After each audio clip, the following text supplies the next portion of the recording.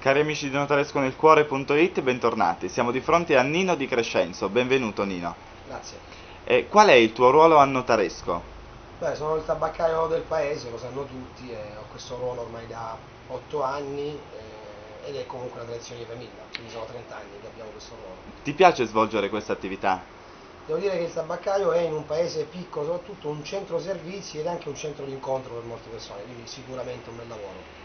Una domanda, quale sarà il progetto, il futuro di questa attività a Notaresco?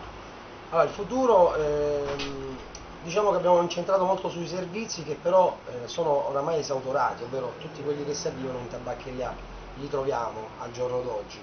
Ci sarà una- una success- un successivo sviluppo per quanto riguarda il pagamento delle utenze, attualmente sono possibili soltanto in posta e soltanto negli orari mattutini.